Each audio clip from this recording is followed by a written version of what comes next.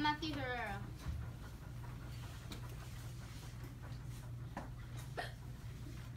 The Day of the Dead is to celebrate and remember the loved ones who have died and passed away.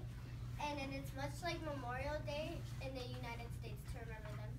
Day of the Dead is is celebrated in Mexico between October 31st and November 2nd.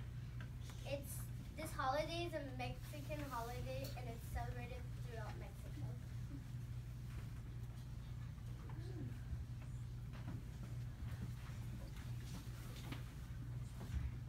The Day of the Dead started when the Spaniards came to Mexico and introduced a new holiday, Dia de los Muertos.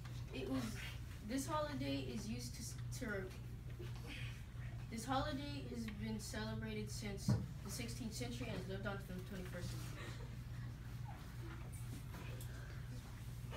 Altars are usually decorated with flowers, candle, candles, pan de muerto, bowls, and most importantly, pictures of loved ones. Food placed on the altar consists consists of the loved one's favorite dishes and treats.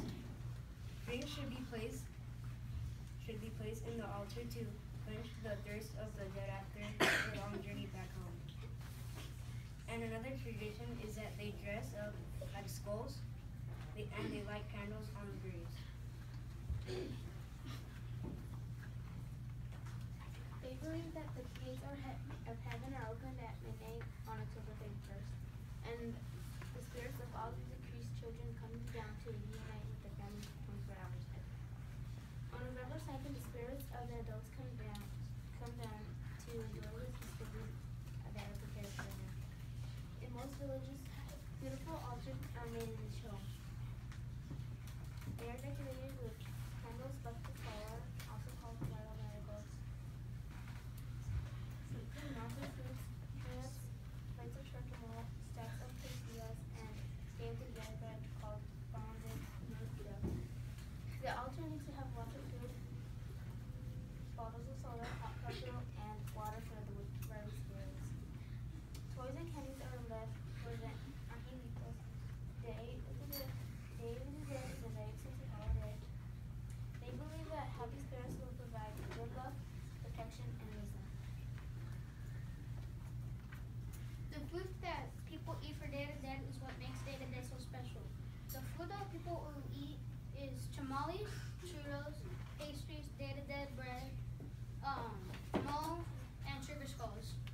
Sugar skulls represent death and life. Mole is um, mole is a dish with mole is a dish with rice and special sauce on the side. Churros is um, a fried dough with sprinkles of sugar on top of it and stuffing inside. Um,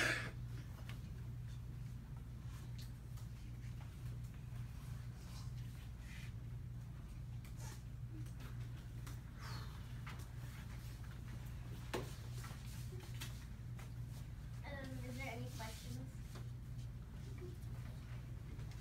Yes.